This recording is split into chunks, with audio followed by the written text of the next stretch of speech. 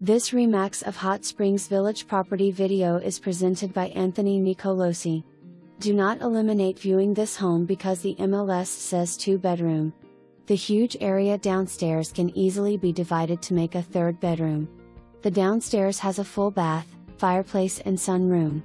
Guest bedroom has a built-in Murphy bed. Hickory flooring and much of house. Architectural shingle roof installed approx 2012. This is an acre lot with some nice views. Beautiful kitchen with new glass top range and microwave. Bennett Brothers Landscaping. Two fireplaces, one see-through, complete wall of bookshelves for more information. Review the details below or contact Anthony Nicolosi at 501 984 1432.